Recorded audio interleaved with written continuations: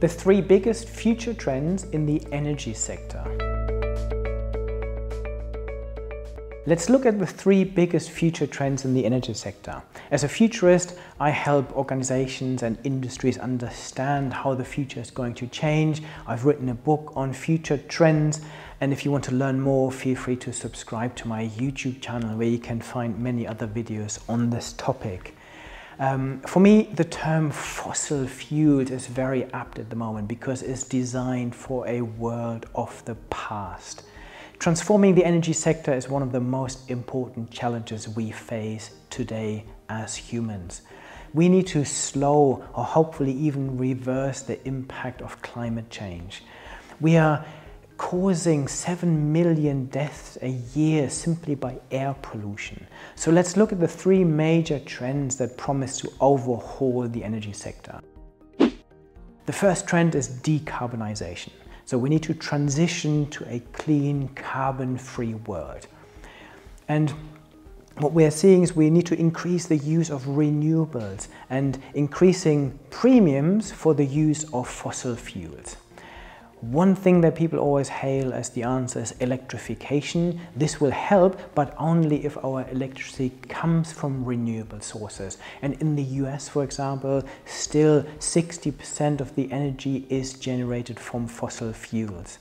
We need more wind, solar, we need to look at biofuels, we need to look at green hydrogen, nuclear, and especially a nuclear fusion that are for me all technologies we need to really invest in and explore to drive this transition. The second trend is decentralization. We need to transition away from our current highly centralized energy grids run by monopolistic energy providers towards distributed energy production. In other words, thanks to a combination of renewable energy and localized microgrids, consumers can generate their own electricity. If you think about solar roofs, and this can give communities uh, complete autonomy on their electricity. And then my third trend is digitization. And this is massive. This is a trend about the use of digital machines, devices and technology to optimize energy productions, infrastructure and use. So intelligent everything is something we've heard for a long time and we will soon have intelligent energy networks, for example. These are all linked to my previous two trends. What we're seeing is this increasing variety of zero carbon energy sources. And this will mean we'll have increasingly complex networks that we need to manage. So these decentralized grids will need intelligent solutions to help us monitor and manage the fluctuating demands. And this is where AI and predictive analytics comes in. And also the Internet of Things. So we have more smart devices that can control energy use and send data back, which makes it all a lot more predictable.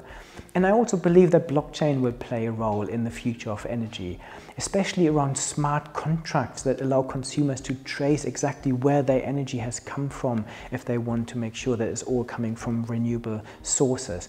And another key digitization trend is around digital twins. Um, which can be used to create a virtual replica of things like a power plant or even an entire grid. And this allows providers to model different scenarios, make better decisions and improve efficiencies. Collectively, we now talk about this, this term Energy 4.0, playing on the term Industry 4.0. And for me, this won't be easy. Um, this is a big transition that needs to take place, but we must change it and we must change fast.